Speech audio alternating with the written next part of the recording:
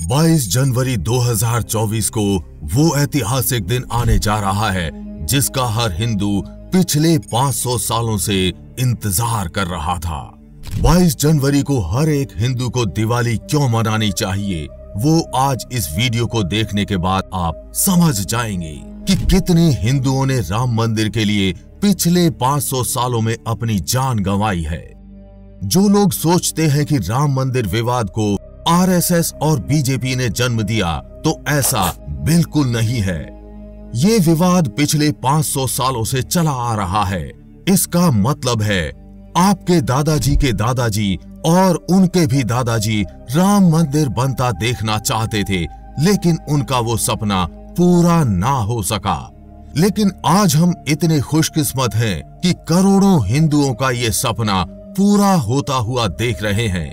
तो चलिए आज हम इस वीडियो में राम मंदिर विवाद का 500 सालों का इतिहास समझते हैं कि कब कब इतिहास में क्या क्या विवाद हुआ। और अब 500 सालों के संघर्ष के बाद अब राम मंदिर बनने जा रहा है।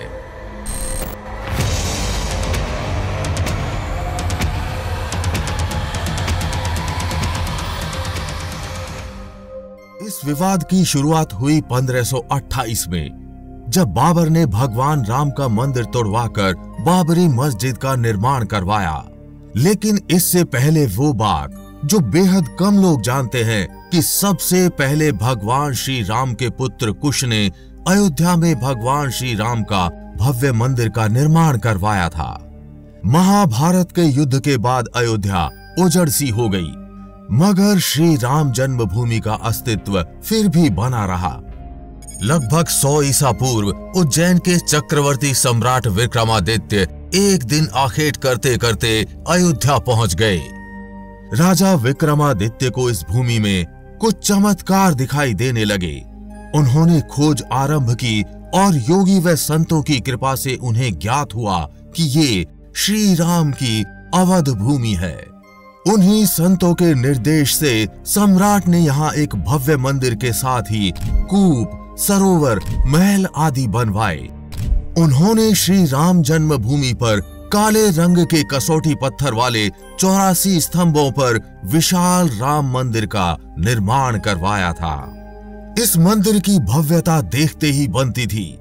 विक्रमादित्य के बाद के राजाओं ने समय समय पर इस मंदिर की देखरेख की। फिर समय आया चौदहवीं शताब्दी का, जब हिंदुस्तान पर मुगलों का अधिकार हो गया और उसके बाद ही राम जन्मभूमि एवं अयोध्या को नष्ट करने के लिए कई अभियान चलाए गए। अंततः 1527 से 1528 में बाबर के द्वारा इस भव्य राम मंदिर को तोड़ दिया गया और उसकी जगह बाबरी ढांचा खड़ा किया गया। इसके बाद 190 सालों तक राम मंदिर को लेकर अयोध्या में कोई हलचल नहीं हुई।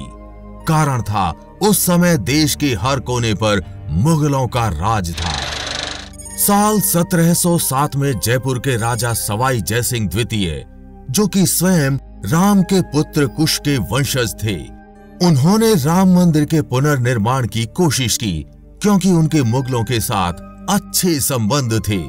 लेकिन काफ़ी प्रयासों के बाद भी वो सफल नहीं हो सके, जिसके बाद उन्होंने हिंदुओं की आस्था को ध्यान में रखते हुए बाबरी मस्जिद के बाहर एक राम चबूतरे का निर्माण करवा दिया।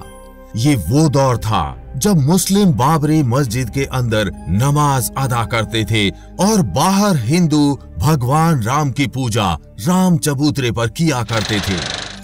साल अठारह में इस जगह के आसपास पहली बार दंगे हुए और अठारह में अंग्रेज़ी प्रशासन ने विवादित जगह के आसपास बाढ़ लगा दी।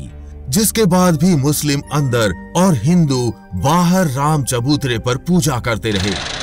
साल अठारह में पहली बार विवाद अदालत में पहुँचा। निर्मोही अखाड़े के महंत रघुवीर दास ने फैजाबाद जिला अदालत में याचिका दायर की थी। इसके तहत उन्होंने राम चबूतरे पर छतरी स्थापित करने की अर्जी लगाई, जो खारिज हो गई। फिर साल 1934 में अयोध्या में राम मंदिर को लेकर फिर से दंगा होता है, जिसमें बाबरी मस्जिद की एक दीवार टूट जाती है।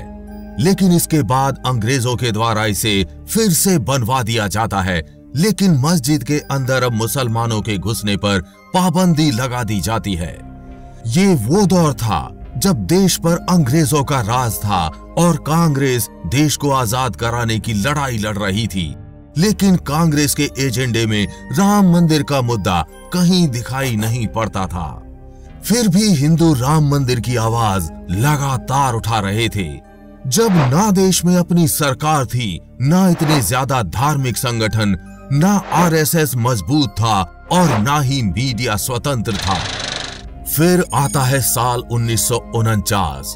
देश अंग्रेज़ों के शासन से आज़ाद होता है और हिंदू सोचते हैं कि अब तो हम आज़ाद हो गए हैं, अब तो हम आसानी से बाबरी मस्जिद को तोड़कर फिर से राम मंदिर स्थापित कर देंगे और शुरू होता है असली राम मंदिर विवाद।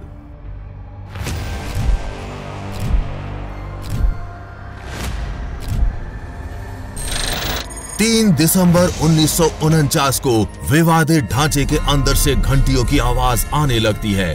पता लगता है कि वहाँ भगवान श्री राम की पूजा हो रही है। विवादित ढांचे के अंदर से भगवान राम की मूर्तियाँ मस्जिद में पाई जाती हैं। हिंदुओं का कहना था कि बीती रात मंदिर के अंदर भगवान राम प्रकट हुए हैं। जबकि मुसलमानों ने आरोप लगाया कि किसी ने रात में चुपचाप मूर्तियाँ वहाँ रख दी थी। जैसे ही ये खबर फैलती है, मुस्लिम और हिंदू पक्ष के लोग भारी संख्या में विवादित ढांचे के आसपास जुड़ने लगते हैं। मामला इतना बढ़ जाता है कि विवाद की खबर उस वक्त के प्रधानमंत्री जवाहरलाल नेहरू को मिलती है। प्रधानमंत्री वहाँ के जिला कलेक्टर के के नायर को आदेश देते हैं कि मूर्ति को हटाकर पहले जैसी स्थिति बहाल की जाए।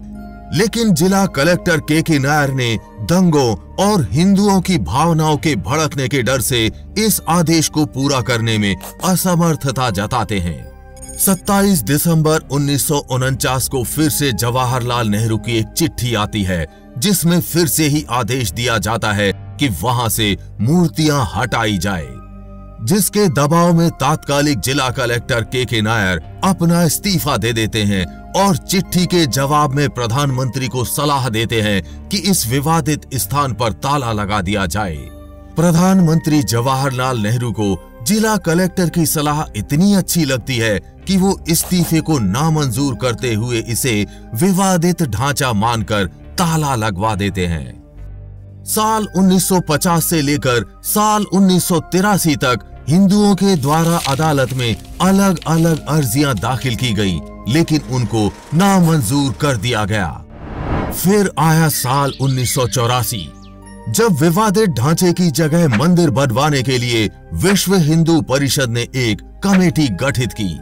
ये वो दौर था जब बीजेपी आरएसएस और विश्व हिंदू परिषद राम मंदिर आंदोलन को मज़बूत करने में लगे थे। साल उन्नीस में राम मंदिर विवाद में एक नया मोड़ आता है। शाहबानो केस में सुप्रीम कोर्ट उनके पति को गुजारा भत्ता देने का आदेश सुनाता है। लेकिन मुसलमानों को खुश करने के लिए राजीव गांधी संसद में एक कानून पास करते हैं, जिसमें सुप्रीम कोर्ट का आदेश बदल दिया जाता है और मुसलमान को गुजारा भत्ता देना अनिवार्यता से हटा दिया जाता है।